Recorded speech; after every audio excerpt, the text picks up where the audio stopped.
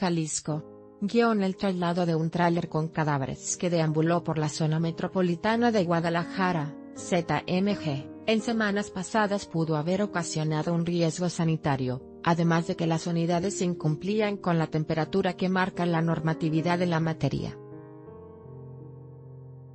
El titular de la Comisión de Protección contra Riesgos Sanitarios de Jalisco, Coprisjal, Dagoberto García, explicó que los cadáveres entran en la clasificación de residuos biológicos peligrosos, por lo que deben establecerse acciones específicas para contener los líquidos y evitar una alteración. Todos los cadáveres no dejan de ser tejidos, los tejidos están expuestos al medio ambiente, y como tal van haciendo acciones de putrefacción y con ello generar líquidos. Punto punto punto, lo que genera esta situación como puede ser el mal olor o los lixiviados, que no estén cercanos a casas habitación, y que los lixiviados vayan a un ducto, a un registro y estos a la vez a un destino final de residuos peligrosos. Mencionó que el personal del Instituto Jalisciense de Ciencias Forenses, ICF, recibió una capacitación para que contengan estos residuos, y una empresa recoja los lixiviados para su debido tratamiento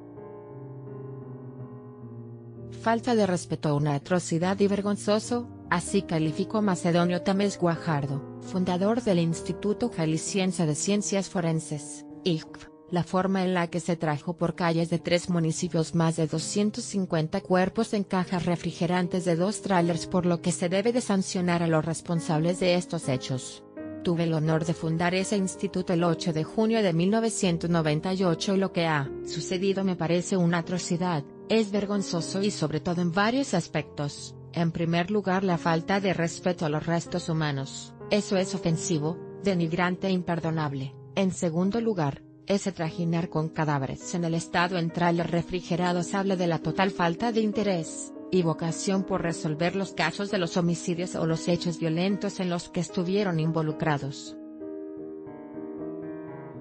Tamés Guajardo dijo que detrás de cada uno de estos cadáveres, hay un homicidio sin resolver, hay desaparecido cuya familia desconoce su destino, entonces además de la atrocidad que representa la falta de respeto a los restos humanos, también es una muestra del abandono total y absoluto que en Jalisco hay respecto a la seguridad pública y la procuración de justicia. Quien fuera presidente municipal de Zapopan entre el 2001 y 2003 como indicó el asunto está desbordado, y se tiene que reencauzar por el bien de los jaliscienses y sí mencionó mi impresión de que el gobierno saliente dejó en abandono totalmente estas zonas tan importantes y el resultado es que el Estado tiene la peor fiscalía de la República Mexicana estadísticamente hablando, un Estado habitado por 8 millones de ciudadanos con miedo, con un aumento en los homicidios, robos y demás, es una situación que debe corregirse de inmediato. Desde su punto de vista y ante la crisis desatada lo primero que se tiene que hacer es poner al mando de esta institución y de la Fiscalía gente responsable,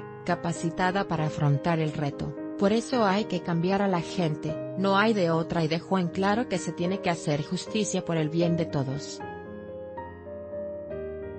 El mes pasado un tráiler con refrigeración con 157 estuvo rondando por varios municipios.